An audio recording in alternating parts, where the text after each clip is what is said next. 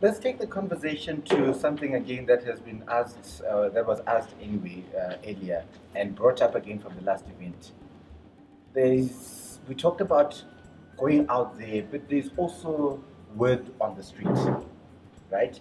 And sometimes this word on the street just needs people to plunge in or just wants people to plunge in and participate, just as well as we plunged into Triple M and many others. Now, property, stocks or stock exchange, and other investment things or portfolios or areas. What's your take on us going into property because there's something there? What's your take in going into going into investing, becoming a shareholder at one of the companies that will collapse after KPMG audits them? What's your take around those things? So now property, I invested in property and when I started that business, it was booming. One day I woke up, it was 2008, there was a world recession and that uh, business died that morning. They said on the news, the world recession starts now. So, I you, you you can't like I was saying earlier.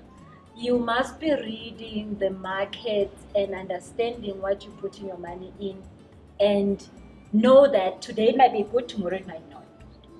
So it could be. I mean, even triple M. I mean, I've heard of a whole online course on how to win in network marketing. You must be the first one. If you are the first one, you're going to make money, and the 13% people are going to make money. The rest are going to lose. Okay. So, I mean, if you're talking about making money, that is a making, it's a money making scheme. True. So, if you know I'm the first one, get in because you're to win. But if you are the last one, you're going to lose. So, even that, Triple M, there are people who made so much money and there are people who lost so much money. I mean, the other day there was a WhatsApp one. The people would be like, The other day. they were like, what's up 20 rand? They are rich, I've put their house, no matter what's up 20 rand, whatever they were doing now. But there were ones that won, there were ones that lost. So you must know where you are in the market, what's currently happening, and know where the market is gonna go to. Sometimes you know, sometimes you don't. I, I think just to just to also add to that point, um, uh, I mentioned the importance of the relationship with money.